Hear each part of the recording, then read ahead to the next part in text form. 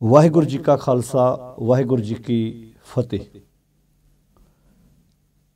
ਗੁਰੂ ਸਾਹਿਬ ਜੀ ਨੇ ਮਾਨਵਤਾ ਦੇ ਭਲੇ ਵਾਸਤੇ ਕਈ ਪਰਪਕਾਰ ਸਮਾਜ ਵਿੱਚ ਕੀਤੇ। ਕਈ ਸਮਾਜ ਸੁਧਾਰਕ ਕੰਮ ਆਪਣੀ ਜ਼ਿੰਦਗੀ ਦੇ ਵਿੱਚ, ਜਿਹੜੇ ਸਮਾਜ ਨੂੰ ਖੂਬਸੂਰਤ ਬਣਾਉਣ ਵਾਸਤੇ ਗੁਰੂ ਪਾਤਸ਼ਾਹ ਜੀ ਨੇ ਨਵੇਂ ਆਰੰਭ ਕੀਤੇ। ਤੇ ਆਮ ਮਨੁੱਖਤਾ ਦੇ ਹੱਕ ਵਿੱਚ ਆਵਾਜ਼ ਬੁਲੰਦ ਕਰਦਿਆਂ ਹੋਇਆਂ ਭਾਵੇਂ ਸਮੇਂ ਦੇ ਹਾਕਮ, ਰਾਜੇ, ਉਹਨਾਂ ਦੇ ਵਿਰੁੱਧ ਵੀ ਆਵਾਜ਼ ਉਠਾਉਣੀ ਪਈ, ਤਾਂ ਗੁਰੂ ਪਾਤਸ਼ਾਹ ਜੀ ਨੇ ਇਸ ਗੱਲੋਂ ਸੰਕੋਚ ਨਹੀਂ ਕੀਤਾ। ਵਕਤ ਦੇ ਬਾਦਸ਼ਾਹ ਹੋਏ ਜਾਂ ਅਖੌਤੀ ਧਾਰਮਿਕ ਲੋਕ ਹੋਏ, ਉਹਨਾਂ ਦੇ ਵਿਰੁੱਧ ਆਵਾਜ਼ ਬੁਲੰਦ ਕਰਦਿਆਂ ਹੋਇਆਂ ਆਮ ਜਿਹੜੀ ਮਾਨਵਤਾ ਸੀ, ਜਿਨ੍ਹਾਂ ਨੂੰ ਉਹਨਾਂ ਦੇ ਹੱਕ ਨਹੀਂ ਸੀ ਮਿਲ ਰਹੇ, ਭਾਵੇਂ ਉਹ ਧਾਰਮਿਕ ਪੱਖੋਂ ਹੋਣ, ਚਾਹੇ ਉਹ ਸਮਾਜਿਕ ਪੱਖੋਂ ਹੋਣ, ਹਰ ਇੱਕ ਪੱਖ ਤੋਂ ਗੁਰੂ ਪਾਤਸ਼ਾਹ ਜੀ ਉਹਨਾਂ ਦੇ ਹੱਕ ਵਿੱਚ ਆਵਾਜ਼ ਬੁਲੰਦ ਕਰਦੇ ਰਹੇ। ਸਮੇਂ-ਸਮੇਂ ਤੇ ਜੇ ਆਪਾਂ ਵੇਖਦੇ ਹਾਂ ਕਿ ਗੁਰੂ ਨਾਨਕ ਸਾਹਿਬ ਜੀ ਤੋਂ ਲੈ ਕੇ ਧੰਨ ਗੁਰੂ ਗੋਬਿੰਦ ਸਿੰਘ ਸੱਚੇ ਪਾਤਸ਼ਾਹ ਮਹਾਰਾਜ ਜੀ ਤੱਕ ਜਿੱਥੇ ਉਹਨਾਂ ਨੇ ਪ੍ਰਚਾਰ ਦੌਰੇ ਕੀਤੇ, ਮਾਨਵਤਾ ਦੇ ਭਲੇ ਦੇ ਕਈ ਪਰਪਕਾਰ ਕੀਤੇ ਤੇ ਨਾਲ ਨਾਲ ਜਿਹੜੇ ਸਮਾਜ ਦੇ ਲੋੜਵੰਦ ਲੋਕ ਸੀ, ਉਹਨਾਂ ਦੇ ਵਾਸਤੇ ਕਈ ਪਰਪਕਾਰ ਕਈ ਉਪਰਾਲੇ ਵੀ ਜੀਵਨ ਦੇ ਵਿੱਚ ਉਹਨਾਂ ਨੇ ਕੀਤੇ। ਚਾਹੇ ਉਹ ਹੈਲਥ ਨਾਲ ਸੰਬੰਧਿਤ ਸੀ, ਚਾਹੇ ਰੋਜ਼ਗਾਰ ਨਾਲ ਸੰਬੰਧਿਤ ਸੀ, ਚਾਹੇ ਐਜੂਕੇਸ਼ਨ ਨਾਲ ਸੰਬੰਧਿਤ ਸੀ, ਹਰ ਪੱਖ ਤੋਂ ਗੁਰੂ ਪਾਤਸ਼ਾਹ ਜੀ ਨੇ ਆਪਣੇ ਜੀਵਨ ਕਾਲ ਦੇ ਵਿੱਚ ਕਈ ਪਰਪਕਾਰ ਕੀਤੇ। ਇਹ ਸਭ ਕੁਝ ਹੋਇਆ ਕਿਵੇਂ ਕਿ ਹਰ ਇੱਕ ਸਿੱਖ ਆਪਣਾ ਬਣਦਾ ਹਿੱਸਾ ਲੋੜਵੰਦਾਂ ਦੇ ਉੱਤੇ ਖਰਚਾ ਕਰਦਾ ਸੀ। ਤੇ ਚਾਹੀਦਾ ਵੀ ਹੈ, ਜਿੰਨੇ ਜੋਗੇ ਅਸੀਂ, ਜਿੰਨਾ ਸਾਡੇ ਕੋਲ ਸਮਰੱਥਾ ਹੈ, ਅਸੀਂ ਆਪਣੇ ird-gird ਧਿਆਨ ਮਾਰੀਏ ਵੀ ਜਿੱਥੇ ਵੀ ਸਾਨੂੰ, ਇਹ ਜ਼ਰੂਰੀ ਨਹੀਂ ਕਿ ਅਸੀਂ ਕਿਸੇ ਵਿਸ਼ੇਸ਼ ਜਗ੍ਹਾ ਤੇ ਜਾ ਕੇ ਪਹੁੰਚ ਕੇ ਪਰਉਪਕਾਰ ਕਰਨਾ ਹੈ। ਜਿੱਥੇ ਵੀ ਸਾਡੇ ਕੋਲ ਸਮਰੱਥਾ ਹੋਵੇ, ਤੁਸੀਂ ਕਿਸੇ ਪਿੰਡ ਰਹਿੰਦੇ ਹੋ, ਕਿਸੇ ਸ਼ਹਿਰ ਰਹਿੰਦੇ ਹੋ ਆਪਣੇ ਚੁਗਰ ਦੇ ਪੂਰੀ ਬਰੀਕੀ ਨਾਲ ਛਾਣਬੀਣ ਕਰਕੇ ਤੁਹਾਨੂੰ ਲੱਗੇ ਕਿ ਵਾਕਿਆ ਇਹ ਇਹ ਇਨਸਾਨ ਲੋੜਵੰਦ ਹੈ, ਉਹਦੇ ਤੱਕ ਉਹਦੀ ਹੈਲਪ ਕੀਤੀ ਜਾ ਸਕਦੀ ਹੈ। ਤੇ ਜ਼ਰੂਰੀ ਨਹੀਂ ਉਹ ਹੈਲਪ ਪੈਸੇ ਟਕੇ ਦੀ ਹੋਵੇ, ਬਹੁਤ ਵਾਰੀ ਕਿਸੇ ਇਨਸਾਨ ਨੂੰ ਰੋਜ਼ਗਾਰ ਦੇ ਕਾਬਲ ਕਰ ਦੇਣਾ, ਇਹ ਵੀ ਇੱਕ ਉਹਦੀ ਮਦਦ ਹੀ ਮੰਨੀ ਜਾਏਗੀ। ਪਰ ਇਹਦੇ ਨਾਲ ਨਾਲ ਸਮਾਜ ਵਿੱਚ ਕੁਝ ਜ਼ਿੰਮੇਵਾਰ ਲੋਕ ਜਦੋਂ ਇਹਨਾਂ ਚੀਜ਼ਾਂ ਤੋਂ ਭਗੌੜੇ ਹੋ ਕੇ ਉਹ ਆਪਣੀਆਂ ਸੇਵਾਵਾਂ ਇਸ ਤਰ੍ਹਾਂ ਅਰਪਣ ਕਰਦੇ ਨੇ ਵੀ ਸ਼ਾਇਦ ਕਿਸੇ ਧਾਰਮਿਕ ਸਥਾਨ ਤੇ ਕੁਝ ਵਿਸ਼ੇਸ਼ ਚੀਜ਼ਾਂ ਅਰਪਣ ਕਰਨ ਨਾਲ ਸਾਨੂੰ ਗੁਰੂ ਪਾਤਸ਼ਾਹ ਜੀ ਦੀ ਖੁਸ਼ੀ ਵੱਧ ਪ੍ਰਾਪਤ ਹੋਏਗੀ। ਉਦੋਂ ਕੁਝ ਸਵਾਲ ਜ਼ਰੂਰ ਪੈਦਾ ਹੁੰਦੇ ਨੇ। ਜਦੋਂ ਅਸੀਂ ਸਤਿਗੁਰੂ ਗੁਰੂ ਨਾਨਕ ਸਾਹਿਬ ਜੀ ਦੇ ਪਾਵਨ ਵਾਕ ਪੜ੍ਹਦੇ ਹਾਂ ਵੀ ਅਕਲੀ ਸਾਹਿਬ ਸੇਵੀ ਹੈ ਅਕਲੀ ਪਾਈਏ ਮਾਨ, ਅਕਲੀ ਪੜ ਕੇ ਬੁੱਝੀਏ ਅਕਲੀ ਕੀਚੈ ਦਾਨ, ਨਾਨਕ ਆਖੈ ਰਾਹ ਇਹ ਹੋਰ ਗੱਲਾਂ ਸ਼ੈਤਾਨ। ਪਾਸ਼ਾ ਜੀ ਕਹਿੰਦੇ ਅਕਲ ਦੀ ਵਰਤੋਂ ਕਰਨੀ ਚਾਹੀਦੀ ਹੈ। ਅਕਲੀ ਸਾਹਿਬ ਸੇਵੀਏ, ਅਕਲ ਦੇ ਨਾਲ ਹੀ ਉਹ ਸਾਹਿਬ ਨੂੰ ਸੇਵਣਾ ਚਾਹੀਦਾ ਹੈ ਤੇ ਅਕਲੀ ਪਾਈਏ ਮਾਨ, ਇੱਜ਼ਤ ਵੀ ਮਿਲੇਗੀ। ਜੇ ਅਸੀਂ ਆਪਣੀ ਸਿਆਣਪ ਦੀ ਵਰਤੋਂ ਕਰਾਂਗੇ ਗੁਰੂ ਪਾਤਸ਼ਾਹ ਜੀ ਦੇ ਉਪਦੇਸ਼ ਮੁਤਾਬਕ, ਤੇ ਅਕਲੀ ਪੜ ਕੇ ਬੁੱਝੀਏ ਕੱਲਾ ਪੜਨਾ ਨਹੀਂ, ਬੁੱਝਣਾ ਹੈ, ਸਮਝਣਾ ਹੈ, ਤੇ ਸ਼ਬਦ ਉਹ ਕਿੱਡਾ ਪਿਆਰਾ ਵਰਤਿਆ ਅਕਲੀ ਪੜ ਕੇ ਬੁੱਝੀਏ, ਅਕਲੀ ਕੀਚੇ ਦਾਨ। ਉਹ ਦਾਨ ਕੱਲਾ ਪੈਸੇ ਟਕੇ ਦਾ ਨਹੀਂ ਹੈ ਨਾਲੇ ਪੈਸੇ ਟਕੇ ਦਾ ਦਾਨ ਦਿੱਤਾ ਵੀ ਨਹੀਂ ਜਾ ਸਕਦਾ, ਉੱਥੇ ਤੁਸੀਂ ਕਿਸੇ ਦੀ ਹੈਲਪ ਕਰਦੇ ਆ ਮਦਦ ਕਰਦੇ ਆ ਦਾਨ ਸ਼ਬਦ ਦਾ ਅਰਥ ਹੈ ਕਿ ਜੇ ਤੁਹਾਡੇ ਕੋਲ ਕਿਸੇ ਕੋਈ ਹੁਨਰ ਹੈ, ਗੁਣ ਹੈ, ਅੱਗੇ ਸ਼ੇਅਰ ਕਰੋ। ਪਰ ਨਾਲ ਵੇਖਣ ਚਾਹੁੰਦਾ ਵੀ ਸਾਡੇ ਕੁਝ ਸਮਾਜ ਦੇ ਵਿੱਚ ਪੜਿਆ ਲਿਖਿਆ ਵਰਗ ਵੀ ਕਈ ਵਾਰੀ ਇਹੋ ਜਿਹੇ ਧਾਰਮਿਕ ਲੋਕਾਂ ਦੇ ਵਹਿਣ 'ਚ ਵਹਿੰਦਾ ਕਿ ਉਹ ਕਿਸੇ ਵਿਸ਼ੇਸ਼ ਜਗ੍ਹਾ ਤੇ ਕਿਸੇ ਚੀਜ਼ ਨੂੰ ਚੜਾਉਣ ਵਿੱਚ ਆਪਣਾ ਉਹ ਸਭ ਤੋਂ ਵੱਡੀ ਸੇਵਾ ਸਮਝਦਾ ਜਿਵੇਂ ਅੱਜ ਕੱਲ ਇੱਕ ਮਸਲਾ ਭਖਿਆ ਹੋਇਆ ਹੈ ਕਿ ਗੁਰਵਿੰਦਰ ਸਿੰਘ ਸਮਰਾ ਨਾਂ ਦਾ ਡਾਕਟਰ ਜੋ ਜਲੰਧਰ ਦਾ ਰਹਿਣ ਵਾਲਾ ਜਿਹਨੇ ਅੱਜ ਤੋਂ ਕੁਝ ਸਮਾਂ ਪਹਿਲਾਂ ਪਟਨਾ ਸਾਹਿਬ ਦੀ ਧਰਤੀ ਤੇ ਉਥੇ ਛਤਰ ਤੇ ਇੱਕ ਕਿਰਪਾਨ ਜੋ ਸੋਨੇ ਦੀ ਉਹਨਾਂ ਦੇ ਕਹਿਣ ਮੁਤਾਬਕ ਉਹਨਾਂ ਨੇ ਉਥੇ ਭੇਟਾ ਕੀਤੀ ਹੈ। ਜਿਹਦੀ ਕੀਮਤ ਲਗਭਗ ਮੀਡੀਆ ਦੇ ਮੁਤਾਬਕ ਸਾਰਿਆਂ ਨੇ ਸੁਣੀ ਹੋਣੀ ਹੈ ਵੀ 5 ਕਰੋੜ ਦੇ ਕਰੀਬ ਹੈ। ਪਰ ਕਦੀ ਸੋਚ ਕੇ ਵੇਖੋ, ਮੈਂ ਪਿਛਲੇ ਦਿਨ ਵੀ ਇੱਕ ਵਿਚਾਰਾਂ ਕਰਦਿਆਂ ਗੱਲ ਕਹੀ ਸੀ ਵੀ ਇੰਨੀਆਂ ਇੰਨੀਆਂ ਮਹਿੰਗੀਆਂ ਚੀਜ਼ਾਂ ਧਾਰਮਿਕ ਸਥਾਨਾਂ ਤੇ ਚੜਾਉਣ ਦੀ ਬਜਾਏ ਤੁਸੀਂ ਆਪਣੇ ਚੁਗਰ ਦੇ ਧਿਆਨ ਮਾਰੋ। ਕਿੰਨੇ ਬੱਚੇ ਹੋਣਗੇ ਜਿਨ੍ਹਾਂ ਨੂੰ ਜਿਨ੍ਹਾਂ ਦਾ ਪੜ੍ਹਨ ਨੂੰ ਦਿਲ ਕਰਦਾ ਹੋਏਗਾ, ਪਰ ਉਹਨਾਂ ਦੇ ਮਾਪੇ ਦੇ ਕੋਲ ਸਮਰੱਥਾ ਨਹੀਂ ਕਿ ਉਹਨਾਂ ਨੂੰ ਕਿਸੇ ਚੰਗੇ ਸਕੂਲ ਵਿੱਚ ਪੜ੍ਹਾ ਸਕਣ। ਕਿੰਨੇ ਹਸਪੀਟਲਾਂ 'ਚ ਮਰੀਜ਼ ਤੜਫ ਰਹੇ ਨੇ ਜਿਨ੍ਹਾਂ ਨੂੰ ਇਲਾਜ ਦੀ ਜ਼ਰੂਰਤ ਹੈ। ਪਰ ਅਸੀਂ ਵਿਸ਼ੇਸ਼ ਜਗ੍ਹਾ ਤੇ ਇਹੋ ਜਿਹੇ ਕੀ ਗੁਰੂ ਪਾਤਸ਼ਾਹ ਦਾ ਸਿਧਾਂਤ ਹੈ? ਅਸੀਂ ਕਿਸੇ ਮਜ਼ਹਬ ਦੀ ਗੱਲ ਨਹੀਂ ਕਰਦੇ, ਅਸੀਂ ਕਿਸੇ ਕੌਮ ਦੀ, ਅਸੀਂ ਆਪਣੇ ਘਰ ਦੀ ਸਫ਼ਾਈ ਦੀ ਗੱਲ ਕਰਦੇ ਕਿ ਉੱਥੇ ਬਹਿਣ ਵਾਲੇ ਕਦੀ ਉਹਨਾਂ ਨੂੰ ਸਮਝਾਉਣ ਦੀ ਕੋਸ਼ਿਸ਼ ਕਰਨਗੇ? ਉਹ ਮੁੱਦਾ ਐਸਾ ਬਣਿਆ ਕਿ ਬਾਅਦ ਵਿੱਚ ਜਿਹੜੀ ਗੱਲ ਮੀਡੀਆ ਦੇ ਵਿੱਚ ਆਈ ਹੈ ਕਿ ਉਹਨਾਂ ਕਹਿੰਦੇ ਜੀ, ਉਹ ਤਾਂ ਸੋਨਾ ਨਕਲੀ ਹੈ, ਉਹ ਤੇ ਸੋਨਾ ਅਸਲੀ ਨਹੀਂ। ਉਹਨੇ ਡਾਕਟਰ ਨੇ ਕਹਿਤਾ ਜੀ, ਸੋਨਾ ਅਸਲੀ। ਹੁਣ ਇਸ ਸਾਰੇ ਚੱਲਦੇ ਕੇਸ ਵਿੱਚ ਜਿਹੜੇ ਉਥੋਂ ਦੇ ਜਥੇਦਾਰ ਨੇ, ਭਾਈ ਰਣਜੀਤ ਸਿੰਘ ਜੀ ਗੌਰ, ਉਹਨਾਂ ਨੂੰ ਜਥੇਦਾਰੀ ਤੋਂ ਲਾ ਦਿੱਤਾ ਗਿਆ।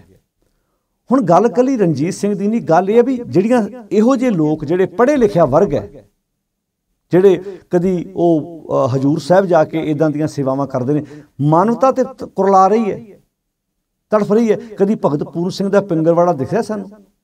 ਕਿੰਨੇ ਲੋਕ ਨੇ ਜਿਹੜੇ, ਵਾਕਿਆ ਤੁਸੀਂ ਆਪਣੇ ਮੈਂ ਵਿਦੇਸ਼ਾਂ ਵਿੱਚ ਵੀ ਬੈਠੇ, ਆਪਣੇ ਵੀਰਾਂ ਨੂੰ ਇੱਕ ਬੇਨਤੀ ਕਰਦਾ ਹੁੰਨਾ, ਤੁਸੀਂ ਬਾਹਰ ਭੱਜਣ ਦੀ ਬਜਾਏ ਆਪਣੇ ਪਿੰਡਾਂ ਵੱਲ ਵੇਖੋ। ਤੁਹਾਡੇ ਪਿੰਡ ਵਿੱਚ ਪਤਾ ਨਹੀਂ ਕਿੰਨੇ ਲੋੜਵੰਦ ਹੋਣਗੇ। ਐਵੇਂ ਤੁਹਾਨੂੰ ਲੱਗਦਾ ਵੀ ਕਿਸੇ ਕਿਸੇ ਰਾਹੀਂ ਪੈਸਾ ਭੇਜਣ ਦੀ ਬਜਾਏ ਆਪ ਸਿੱਧ ਜਾ ਕੇ ਸੰਪਰਕ ਕਰੋ, ਉਹਨਾਂ ਦੀ ਹੈਲਪ ਕਰੋ, ਉਹਨਾਂ ਦੀ ਮਦਦ ਕਰੋ। ਇਹੋ ਜੇ ਜੇ ਕੱਲੇ ਡਾਕਟਰ ਸਮਰੇ ਦੀ ਗੱਲ ਨਹੀਂ ਇਦਾਂ ਦੇ ਅਗਾਮ ਵੀ ਲੋਕ ਆਉਂਦੇ ਰਹਿਣਗੇ, ਜਿਹੜੇ ਸੋਨਾ ਅਰਪਣ ਕਰਦੇ ਰਹਿਣਗੇ ਤੇ ਵਿੱਚੋਂ ਚੁੰਝ ਮਾਰਨ ਵਾਲੇ ਵੀ ਪੈਦਾ ਹੁੰਦੇ ਰਹਿਣਗੇ। ਹੁਣ ਸਾਨੂੰ ਨਹੀਂ ਪਤਾ ਇਹਦੇ ਵਿੱਚੋਂ ਰਣਜੀਤ ਸਿੰਘ ਗੌਰ ਨੇ ਕੁਝ ਖਾਦਾ ਉਥੋਂ ਦੀ ਕਮੇਟੀ ਨੇ ਕੁਝ ਖਾਦਾ ਕਿ ਨਹੀਂ ਖਾਦਾ ਇਹ ਮੁੱਦਾ, ਸਾਡਾ ਮਸਲਾ ਸਿਰਫ ਇੰਨਾ ਹੈ ਕਿ ਸੰਗਤਾਂ ਕਦੋਂ ਸੁਚੇਤ ਹੋਣਗੀਆਂ? ਕਦੋਂ ਅਸੀਂ ਅਕਲ ਦੀ ਵਰਤੋਂ ਕਰਾਂਗੇ? ਗੱਲ ਰਹੀ ਰਣਜੀਤ ਸਿੰਘ ਗੌਰ ਦੀ, ਉਹਦੇ ਬਾਰੇ ਤਾਂ ਸਾਰਿਆਂ ਨੂੰ ਪਤਾ ਹੈ ਵੀ ਇਹ ਲੋਕ ਤਾਂ ਕਿਸੇ ਘੜੇ ਦੇ ਟੱਕਣ ਨਹੀਂ, ਕਦੀ ਜਾ ਕੇ ਲੀਡਰਾਂ ਦੀਆਂ ਇਹ ਲੋਕ ਚਪਲਾਂ ਝਾੜਦੇ ਨੇ, ਨਾਲ ਇਹਨਾਂ ਨੂੰ ਸਮਝ ਆ ਜਾਣੀ ਚਾਹੀਦੀ ਹੈ ਕਿ ਜਦੋਂ ਇਹ ਜਥੇਦਾਰੀਆਂ ਦੇ ਅਹੁਦੇ ਦਿੰਦੇ ਨੇ, ਉਦੋਂ ਰੂਪ ਕਿਹੜਾ ਹੁੰਦਾ ਹੈ? ਜਦੋਂ ਉਤਾਰਨਾ ਹੁੰਦਾ ਤਾਂ ਉਦੋਂ ਰੂਪ ਕਿਹੜਾ ਹੁੰਦਾ ਹੈ? ਮੈਂ ਤਾਂ ਅਕਸਰ ਬੇਨਤੀ ਕਰਦਾ ਹੁੰਨਾ ਕਿ ਜੇ ਪਖੰਡਵਾਦ, ਡੇਰਾਵਾਦ ਨੂੰ ਜਨਮ ਦੇਣ ਵਾਲੇ ਲੋਕ ਨੇ, ਤੇ ਇਹ ਲੋਕ ਨੇ। ਇਹਨਾਂ ਤੋਂ ਬਿਨਾ ਕਿਸੇ ਸਾਧ ਦੀ ਬਰਸੀ ਮੁਕੰਮਲ ਨਹੀਂ ਹੁੰਦੀ। ਇਹ ਉਹ ਲੋਕ ਨੇ ਜਿਨ੍ਹਾਂ ਦੇ ਜਾਣ ਤੋਂ ਬਿਨਾ ਕਿਸੇ ਡੇਰੇ ਦੀ ਆਰੰਭਤਾ ਨਹੀਂ ਹੁੰਦੀ। ਇਹ ਉਹ ਲੋਕ ਨੇ ਜਿਨ੍ਹਾਂ ਨੇ ਡੇਰਿਆਂ ਨੂੰ ਬੜਾਵਾ ਦਿੱਤਾ ਹੈ। ਜੇ ਅੱਜ ਪਖੰਡਵਾਦ ਦਾ ਜਨਮ ਹੋਇਆ ਤੇ ਕਿਤੇ ਨਾ ਕਿਤੇ ਇਹ ਲੋਕ ਕਸੂਰਵਾਰ ਨੇ। ਪਰ ਗੱਲ ਇੱਕ ਡਾਕਟਰ ਸਮਰੇ ਦੀ ਜਾਂ ਇੱਕ ਰਣਜੀਤ ਸਿੰਘ ਗੌਰ ਦੀ ਨਹੀਂ ਹੈ। ਜਿਹੜੀ ਗੱਲ ਕਾਦੀ ਕੂੜ ਬੋਲ ਮਲ ਖਾਏ ਬਾਮਣ ਨਾਵੇ ਜੀਆਂ ਕਾਏ, ਜੋਗੀ ਜੁਗਤ ਨਾ ਜਾਣੇ ਅੰਦ ਤੀਨੇ ਉਜਾੜੇ ਕਬੰਦ ਧਾਰਮਿਕ ਪਹਿਰਾਵੇ ਦੇ ਵਿੱਚ ਪਤਾ ਨਹੀਂ ਕਿੰਨੇ ਡਾਕੂ ਤੇ ਲੁਟੇਰੇ ਤੁਰੇ ਫਿਰਦੇ ਨੇ। ਲਿਫਾਜ਼ੇ ਖਜ਼ਰ ਮੇ ਜਹਾਂ ਸੈਂਕੜੇ ਰਾਜਨ ਵੀ ਫਿਰਤੇ ਹੈ। ਅਗਰ ਦੁਨੀਆ ਮੇ ਰਹਿਣਾ ਹੈ ਤਾਂ ਕੁਝ ਪਹਿਚਾਨ ਪੈਦਾ ਕਰ। ਇੱਥੇ ਧਰਮ ਦੀ ਵਰਦੀ ਵਿੱਚ ਪਤਾ ਨਹੀਂ ਕਿੰਨੇ ਡਾਕੂ ਤੇ ਲੁਟੇਰੇ ਠੱਗ ਤੁਰੇ ਫਿਰਦੇ ਨੇ। ਹੁਣ ਉਹ ਉਹ ਕਹਿੰਦਾ ਜੀ, ਮੈਂ ਅਸਲੀ ਸੋਨਾ ਚੜਾਇਆ, ਉਹ ਕਹਿੰਦੇ ਜੀ, ਇਹਨੇ ਤੇ ਨਕਲੀ ਚੜਾਇਆ। ਤੇ ਪਹਿਲਾਂ ਪੁੱਛੇ ਡਾਕਟਰ ਸਮਰੇ ਨੂੰ ਵੀ ਤੈਨੂੰ ਚੜਾਉਣ ਦੀ ਲੋੜ ਕੀ ਪਈ ਸੀ? ਤੇਰੇ ਜਲੰਧਰ ਦੇ ird-gird ਲੋੜਵੰਦ ਲੋਕ ਮੁੱਕ ਗਏ ਸੀ। ਉਹਨਾਂ ਦੀ ਹੈਲਪ ਕਰਨ ਦੀ ਬਜਾਏ ਕਿ ਗੁਰੂ ਪਾਤਸ਼ਾਹ ਜਿਹੜੇ ਗੁਰੂ ਪਾਤਸ਼ਾਹ ਭਾਈ ਲਾਲੋ ਦੇ ਘਰ ਜਾਣਾ ਪਸੰਦ ਕਰਦੇ ਆ, ਮਲਕ ਭਾਗੋ ਦੇ ਖੀਰਾਂ ਤੇ ਪੂਰੇ ਠੁਕਰਾ ਰਹੇ ਆ ਕਿ ਉਹ ਗੁਰੂ ਪਾਤਸ਼ਾਹ ਨੂੰ ਅਸੀਂ ਸੋਨੇ ਦੀਆਂ ਪਾਲਕੀਆਂ ਤੇ ਸੋਨੇ ਦੇ ਕਲਸ਼ ਦੇ ਨਾਲ ਖੁਸ਼ ਕਰ ਲਵਾਂਗੇ ਭਲਾ। ਕਦੀ ਪਿੰਡਾਂ ਵਿੱਚ ਕਦੀ ਧਿਆਨ ਮਾਰ ਕੇ ਵੇਖਿਆ ਕਿ ਗ੍ਰੰਥੀਆਂ ਦੀਆਂ ਤਨਖਾਹਾਂ ਕਿੰਨੀਆਂ ਜਿਹੜੇ ਜਿਹੜੇ ਪਿੰਡਾਂ ਵਿੱਚ ਕੰਮ ਕਰਦੇ ਨੇ? ਕਦੀ ਕਦੀ ਸੋਚ ਕੇ ਵੇਖਿਆ ਜਿਹੜੇ ਗੁਰਦੁਆਰਿਆਂ 'ਚ ਸੇਵਾਦਾਰ ਨੇ, ਉਹਨਾਂ ਦੀਆਂ ਤਨਖਾਹਾਂ ਕਿੰਨੀਆਂ ਨੇ? ਕਦੀ ਉਸ ਬੰਨੇ ਧਿਆਨ ਦੇਣ ਦੀ ਕੋਸ਼ਿਸ਼ ਕੀਤੀ ਹੈ ਸਾਡੇ ਸਮਾਜ ਨੇ? ਅਸੀਂ ਤਾਂ ਦੇਖਾ ਦੇਖੀ ਸਭ ਕਰੇ ਮਨਮੁਖ ਬੂਝ ਨਾ ਪਾਏ ਵਾਲੀ ਗੱਲ ਹੈ। ਅੱਜ ਤੇ ਰੀਸ ਲੱਗੀ ਹੋਈ ਹੈ ਜੀ, ਫਲਾਣੇ ਥਾਂ ਤੇ ਮੈਂ ਆਹ ਚੀਜ਼ ਅਰਪਣ ਕਰਾਂਗੇ। ਕਦੀ ਗੁਰਦੁਆਰਿਆਂ ਵਿੱਚ ਧਿਆਨ ਮਾਰ ਕੇ ਵੇਖਿਓ, ਹਜ਼ਾਰਾਂ, ਲੱਖਾਂ ਦੇ ਰਮਾਲੇ ਅਗਨ ਭੇਟ ਕੀਤੇ ਜਾਂਦੇ ਨੇ। ਮੈਨੂੰ ਮਲੇਸ਼ੀਆ ਕੁਝ ਸਮਾਂ ਪਹਿਲਾਂ ਜਾਣ ਦਾ ਮੌਕਾ ਮਿਲਿਆ ਸੀ ਤੇ ਮੈਂ ਆਪਣੀ ਅੱਖੀਂ ਵੇਖਿਆ ਸੀ ਉੱਥੇ। ਗ੍ਰੰਥੀ ਸਿੰਘ ਨੂੰ ਰਮਾਲੇ ਅਗਨ ਭੇਟ ਕਰਦੇ ਆ ਤੇ ਇੰਨੇ ਮਹਿੰਗੇ ਕੀਮਤੀ ਰਮਾਲੇ ਸੀ, ਤੇ ਮੈਂ ਉਹਨੂੰ ਪੁੱਛਿਆ, ਮੈਂ ਕਿਹਾ ਜੀ, ਇੰਨੇ ਸੋਹਣੇ ਰਮਾਲੇ ਕਿਉਂ ਅਗਨ ਭੇਟ ਕਰ ਰਹੇ ਹੋ? ਭਾਈ ਸਾਹਿਬ ਕਹਿੰਦੇ ਰੱਖਣ ਨੂੰ ਜਗ੍ਹਾ ਨਹੀਂ ਥੱਲੇ। ਗੁਰਦੁਆਰਾ ਸਾਹਿਬ ਜੀ ਕੀ ਕਰੀਏ? ਮੈਂ ਕਿਹਾ, ਸੰਗਤ ਨੂੰ ਸੁਚੇਤ ਕਰੋ ਵੀ ਨਵੇਂ ਰਮਾਲੇ ਅਰਪਣ ਕਰਨ ਦੀ ਬਜਾਏ ਤੁਸੀਂ ਜਿਹੜਾ ਪੈਸਾ ਰਮਾਲੇ ਤੇ ਲਾਉਣਾ ਉਹ ਕਿਸੇ ਲੋੜਵੰਦ ਦੀ ਹੈਲਪ ਕਰ ਦਿਓ। ਮੰਨ ਲਓ ਜੇ ਤੁਹਾਡਾ, ਤੁਹਾਨੂੰ ਜੀ ਕਰਦਾ ਜੀ, ਇਹ ਮੈਂ ਪੈਸੇ ਰਮਾਲਾ, ਰਮਾਲੇ ਵਾਸਤੇ ਕੱਢਣੇ ਨੇ ਤੇ ਉਹਦਾ ਸੌਖਾ ਕੰਮ ਹੈ, ਤੁਸੀਂ ਉਹ ਪੈਸੇ ਪਾਸੇ ਰੱਖ ਲਓ, ਕਿਸੇ ਆਪਣੇ ਕਿਸੇ ਰਿਸ਼ਤੇਦਾਰ ਦੀ ਹੈਲਪ ਕਰ ਦਿਓ, ਕਿਸੇ ਲੋੜਵੰਦ, ਕਿਸੇ ਬੱਚੇ ਦੀ ਸਕੂਲ ਦੀ ਵਰਦੀ, ਫੀਸ ਦੇ ਦਿਓ। ਐਸਾ ਕੰਮ ਵੀ ਕੀਤਾ ਜਾ ਸਕਦਾ। ਸਿੱਖ ਰਹਿਤ ਮਰਿਆਦਾ 'ਚ ਲਿਖਿਆ ਹੈ ਵੀ ਜ਼ਰੂਰੀ ਨਹੀਂ ਤੁਸੀਂ ਰਮਾਲਾ ਤੁਸੀਂ ਕਿਸੇ ਲੋੜਵੰਦ ਦੀ ਹੈਲਪ ਕਰ ਸਕਦੇ ਹੋ। ਪਰ ਸਾਡੇ ਦਿਮਾਗ 'ਚ ਇਹ ਗੱਲਾਂ ਬੈਠੀਆਂ ਹੋਈਆਂ ਨੇ। ਬਹੁਤ ਕੁਝ ਐਸਾ ਚੱਲ ਰਿਹਾ ਜਦੋਂ ਤੱਕ ਸਾਡੇ ਲੋਕ ਇਦਾਂ ਇਹ ਕੰਮ ਕਰਦੇ ਰਹਿਣਗੇ, ਉਦੋਂ ਤੱਕ ਸਾਡੀ ਧਾਰਮਿਕ, ਆਰਥਿਕ, ਮਾਨਸਿਕ ਇਹ ਸਾਡਾ ਸ਼ੋਸ਼ਣ ਹੁੰਦਾ ਹੀ ਰਹੇਗਾ ਸਮਾਜ ਦੇ ਵਿੱਚ। ਬਾਕੀ ਇੱਕ ਰਣਜੀਤ ਸਿੰਘ ਦੀ ਜਗ੍ਹਾ ਕੋਈ ਦੂਜਾ ਹੋਰ ਲਾ ਦੇਣਗੇ ਕਿਤੇ ਕੰਮ ਮੁੱਕ ਜਾਣੇ, ਡਾਕਟਰ ਸਮਰ ਦੀ ਜਗ੍ਹਾ ਕੋਈ ਹੋਰ ਡਾਕਟਰ ਆ ਜਾਏਗਾ। ਕੱਲ ਨੂੰ ਕੋਈ ਹੋਰ ਪੁਲਿਸ ਅਫਸਰ ਜਿਹੜਾ ਇਸ ਬੰਨੇ, ਮਤਲਬ ਜਿਹੜਾ ਵਾ ਉਹ ਕੋਈ ਨਾ ਕੋਈ ਅਰਪਣ ਕਰਨ ਵਾਸਤੇ ਆਪਣੇ ਗੁਨਾਹ ਮਾਫ ਮਾਫ ਕਰਾਏਗਾ। ਤੇ ਤੁਸੀਂ ਕੀ ਲੋਚਦੇ ਹੋ ਵੀ ਇਹ ਕਿਤੇ ਐਦਾਂ ਚੀਜ਼ਾਂ ਅਰਪਣ ਹੋ ਜਾਂਦੀਆਂ ਨੇ? ਕਿਹੜੇ ਕਿਹੜੇ ਗੈਂਗ ਤੁਰੇ ਫਿਰਦੇ ਨੇ ਇਹਨਾਂ ਕੰਮਾਂ ਦੇ ਵਿੱਚ? ਮਾਫੀਆ ਹੈ ਬੜਾ ਵੱਡਾ। ਸਚੇਤ ਹੋਈਏ ਭਾਈ, ਜਾਗੀਏ। ਜਿਹੜੇ ਮੈਂ ਤੇ ਹਰ ਵਰਗ ਦੀ ਬੇਨਤੀ ਕਰਦਾ ਹਾਂ ਨਾ ਵੀ ਆਪਣੇ ਘਰ ਦੀ ਸਫ਼ਾਈ ਕਰੀਏ। ਪਰ ਅਸੀਂ ਭੱਜ ਰਹੇ ਹਾਂ ਵੀ ਮੇਰਾ ਸ਼ਾਇਦ ਕਿਸੇ ਧਾਰਮਿਕ ਸਥਾਨ ਤੇ ਸਾਡੇ ਤੇ ਘਰ ਬਾਣੀ ਪੜਨ ਦੀ ਬਜਾਏ ਅਸੀਂ ਭੱਜ ਕੇ ਡੇਰੇ ਅਖੰਡ ਪਾਠ ਕਰਾਉਣਾ ਚਾਹੁੰਦੇ ਵੀ ਸ਼ਾਇਦ ਉਸ ਡੇਰੇ ਅਖੰਡ ਪਾਠ ਕਰਾਇਆ, ਉਹਦਾ ਫਲ ਵੱਧ ਮਿਲਣਾ ਸਾਨੂੰ। ਬਾਕੀ ਇਹ ਤੇ ਉਹ ਲੋਕ ਨੇ ਜਿਹੜੇ ਲੀਡਰਾਂ ਦੀਆਂ ਕਟਪੁਤਲੀਆਂ ਨੇ। ਉਹਨਾਂ ਦੇ ਨਾਲ ਨਾਲ ਤੁਰੇ ਫਿਰਦੇ ਨੇ। ਉਹਨਾਂ ਦੀ ਜੀ ਹਜ਼ੂਰੀ ਕਰਦੇ ਨੇ। ਮੈਂ ਤਾਂ ਅਕਸਰ ਬੇਨਤੀ ਕਰਦਾ ਹਾਂ ਕਦੀ ਧਿਆਨ ਮਾਰ ਕੇ ਵੇਖਿਓ ਮੀਡੀਆ ਦੇ ਵਿੱਚ। ਅੱਜ ਜਦੋਂ ਅਸੀਂ ਪਖੰਡੀ ਬਾਬਿਆਂ ਬਾਰੇ ਬੋਲਦੇ ਆ ਤੇ ਕਿੰਨਿਆਂ ਦੇ ਸਾਨੂੰ ਫੋਨ ਆਉਂਦੇ ਨੇ? ਨਹੀਂ ਭਾਈ ਸਾਹਿਬ ਜੀ, ਤੁਸੀਂ ਇੱਕ ਵਾਰੀ ਆਣ ਕੇ ਸਾਡੇ ਮਹਾਂਪੁਰਖਾਂ ਦੀ ਲੀਲਾ ਤੇ ਵੇਖੋ ਇੱਕ ਵਾਰੀ। ਤੁਸੀਂ ਕਦੀ ਮਿਲੇ ਜੇ? ਮੈਂ ਕਹਿੰਦਾ ਨਹੀਂ ਜੀ, ਮੈਂ ਤੇ ਆਪਣੇ ਗੁਰੂ ਨੂੰ ਮਿਲਦਾ ਰੋਜ਼। ਸ਼ਬਦ ਰੂਪੀ ਗੁਰੂ ਨੂੰ ਰੋਜ਼ ਮਿਲਦਾ ਮੈਂ। ਮੈਨੂੰ ਕਿਸੇ ਘਰ ਘਰ ਬਾਬਾ ਗਾ ਵੀ ਹੈ, ਮੈਂ ਤਾਂ ਉਸ ਬਾਬੇ ਨੂੰ ਰੋਜ਼ ਮਿਲਦਾ। ਤੁਸੀਂ, ਤੁਹਾਨੂੰ ਤੁਹਾਡਾ ਬਾਬਾ ਮੁਬਾਰਕ ਹੈ। ਅਗਲਿਆਂ ਨੇ ਚੋਗੇ ਪਾਏ ਹੋਏ ਨੇ, ਭੱਜੇ ਜਾਂਦੇ ਨੇ ਉਧਰ ਨੂੰ। ਕੋਈ ਇੱਕ ਰਣਜੀਤ ਸਿੰਘ ਗੌਰ ਵਰਗਾ ਥੋੜਾ ਹੈ, ਜਾਂ ਇੱਕ ਡਾਕਟਰ ਸਮਰੇ ਵਰਗੇ ਲੋਕ ਥੋੜਾ ਨੇ। ਇਤੇ ਆਮ ਪਬਲਿਕ ਨੂੰ ਸੁਚੇਤ ਹੋਣਾ ਪੈਣਾ ਹੈ। ਜਾਗੋ ਭਾਈ ਇਹ ਲੁੱਟ ਉਦੋਂ ਤੱਕ ਹੁੰਦੀ ਰਹੇਗੀ ਜਦੋਂ ਤੱਕ ਅਸੀਂ ਆਪਣੇ ਘਰ ਦੀ ਖੁਦ ਰਾਖੀ ਆਪ ਨਹੀਂ ਕਰਦੇ। ਇਥੇ ਪਹਿਰੇਦਾਰ ਹੀ ਘਰ ਨੂੰ ਸਨ ਲਾ ਕੇ ਬੈਠਾ ਹੋਇਆ ਕਦੀ ਕਿਸੇ ਗੁਰਦੁਆਰੇ ਫਲਾਣੇ ਨੇ ਕਈ ਚੜਾਈ ਸੀ ਜੀ, ਉੱਥੇ ਨੇ ਬਾਲਟਾ ਸੋਨੇ ਦੇ ਚੜਾਇਆ ਸੀ, ਉੱਥੇ ਗਾਇਬ ਹੋ ਗਿਆ ਜੀ। ਸਵਾਲ ਇਹ ਪੈਦਾ ਹੁੰਦਾ, ਆਪਾਂ ਆਪਾਂ ਲੈ ਕੇ ਕਿਉਂ ਜਾਂਦੇ ਆ ਆਪਾਂ ਇਹ ਵੇਖੀਏ ਉੱਥੇ ਜਿਹੜੀ ਚੀਜ਼ ਜ਼ਰੂਰਤ ਹੈ, ਗ੍ਰੰਥੀਆਂ ਦੀਆਂ ਤਨਖਾਹਾਂ 15 1500 2 2000 ਤੁਹਾਡੀਆਂ ਸੋਨੇ ਦੀਆਂ ਕਈਆਂ ਜਿਹੜੀਆਂ ਨੇ ਉਹ ਚੜਾਈਆਂ ਅਰਥ ਰਹਿ ਗਈਆਂ ਬਈ? ਆ ਕਈ ਗ੍ਰੰਥੀ ਸਿੰਘ ਵੀਰ ਆਣ ਕੇ ਸਾਨੂੰ ਦੱਸਦੇ ਕਹਿੰਦੇ ਭਾਈ ਸਾਹਿਬ ਜੀ, ਮਹਿੰਗੀਆਂ ਸਕੂਲਾਂ 'ਚ ਅਸੀਂ ਕਿੱਥੋਂ ਬੱਚੇ ਪੜਾ ਸਕਦੇ ਹਾਂ? ਅਸੀਂ ਕਿੱਥੋਂ ਆਪਣੇ ਬੱਚੇ ਨੂੰ ਇਸ ਬਨੇ, ਜਿਹੜਾ ਵਾ ਇਸ ਬਨੇ ਲਾ ਸਕਦੇ ਹਾਂ ਵੀ ਸਾਡਾ ਬੱਚਾ ਵੀ ਕਿਸੇ ਚੰਗੇ ਸਕੂਲ 'ਚ ਪੜ ਲਵੇ। ਅਸੀਂ ਹੋਰ ਹੀ ਕੰਮਾਂ 'ਚ ਤੁਰ ਪਏ। ਗੁਰਦੁਆਰੇ ਬਾਹਰ ਲੜੀਆਂ ਲਾ ਦਿਓ ਜੀ, ਬਾਹਰ ਲਾਈਟਾਂ ਜਗਾ ਦਿਓ ਜੀ, ਹੋਰ ਪਤਾ ਨਹੀਂ ਕਈ ਕੁਝ। ਫੁੱਲਾਂ ਦੀ ਡੈਕੋਰੇਸ਼ਨ ਤੇ ਹਜ਼ਾਰਾਂ ਲੱਖਾਂ ਰੁਪਇਆ ਖਰਚਾ ਕਰ ਦੇਣਾ ਸੇਵਾਦਾਰ ਜਿਹੜਾ ਦੇਗ ਬਣਾਉਣ ਵਾਲਾ, ਉਹਦਾ ਢਿੱਡ ਧੋਣ ਤੱਕ ਜਾਣਾ ਵੀ ਇਹਨੂੰ ਇਹਨੂੰ 2 ਰੁਪਏ ਤਨਖਾਹ ਨਾ ਦੇਣੀ ਪੈ ਜਾਏ ਕਿਤੇ। ਇਹ ਸੇਮ ਉਦੋਂ ਜਦੋਂ ਅਸੀਂ ਕੈਂਪ ਲਾਉਂਦੇ ਹੁੰਦੇ ਸੀ ਨਾ ਤੇ ਕਿਸੇ ਨੂੰ ਕਹਿਣਾ ਵੀ ਆਓ ਤੁਹਾਡੇ ਪਿੰਡ ਕੈਂਪ ਲੱਗਣਾ, ਕੋਈ ਕਾਪੀਆਂ, ਪੈਨ ਜਿਹੜੀਆਂ ਡੈਰੀਆਂ ਲੈਣੀਆਂ ਨੇ, ਭਾਈ ਆਓ, ਆਪਾਂ ਤੁਹਾਡੇ ਪਿੰਡ ਦੇ ਵਿੱਚ ਤੁਸੀਂ ਆਪੇ ਲੈ ਆਓ। ਨਹੀਂ ਜੀ, ਪੈਸਾ ਹੈ ਨਹੀਂ। ਪਰ ਜੇ ਲੰਗਰ ਲਾਉਣਾ ਹੈ, ਮਿੰਟਾਂ, ਸਕਿੰਟ, ਜੇ ਸ਼ਬੀਲ ਲਾਉਣੀ ਹੈ, ਭਾਵੇਂ ਦੋ ਖੰਡ ਦੀਆਂ ਬੋਰੀਆਂ ਲੈ ਆਓ। ਸਾਨੂੰ ਲੱਗਦਾ ਵੀ ਖੰਡ ਪਿਉਣੀ, ਸ਼ਰਬਤ ਪਿਉਣਾ, ਇਹ ਸੇਵਾ ਵਾ। ਕਿਸੇ ਨੂੰ ਐਜੂਕੇਸ਼ਨ ਦੇਣੀ ਸੇਵਾ ਥੋੜਾ ਹੈ। ਕਿਸੇ ਬੱਚੇ ਨੂੰ ਗੁਰਮਤ ਸਿਖਾਉਣੀ ਸੇਵਾ ਥੋੜਾ ਹੈ।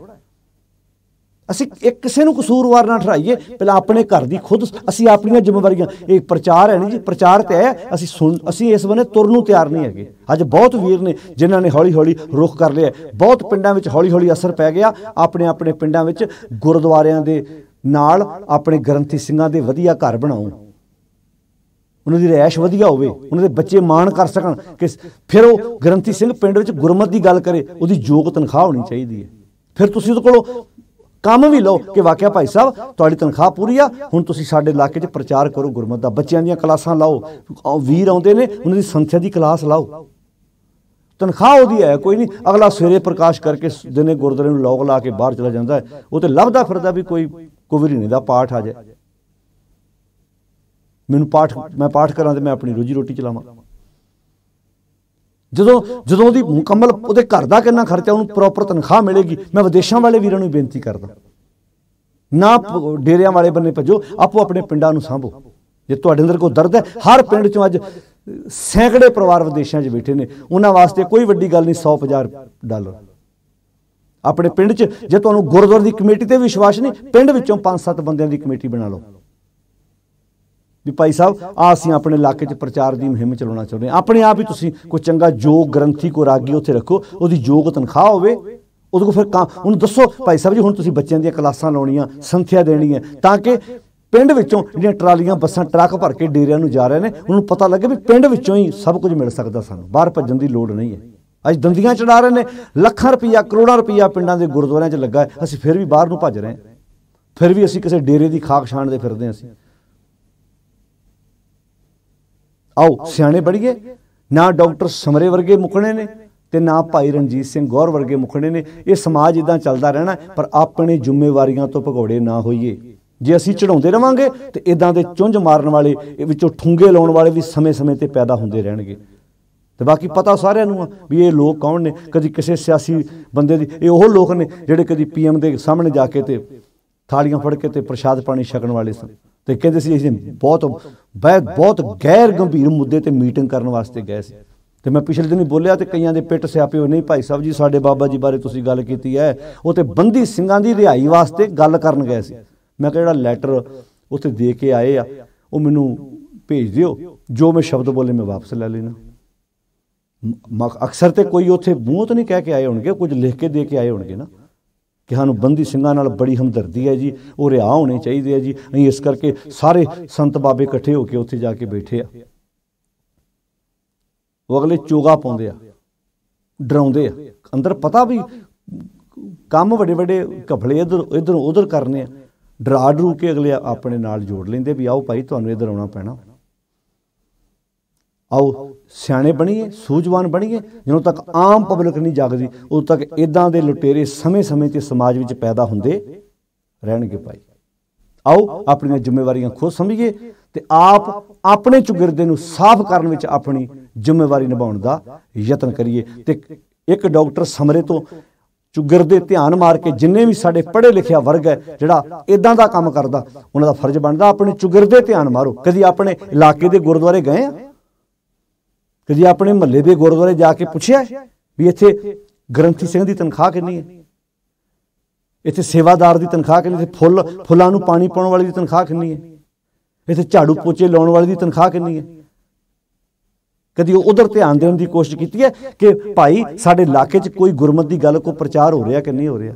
ਪਰ ਕਿਉਂ ਪੁੱਛੋਗੇ ਭਾਈ? ਕਿਉਂਕਿ ਅਸੀਂ ਤੇ ਵਹਿਣ 'ਚ ਵਹਿ ਰਹੇ ਹਾਂ।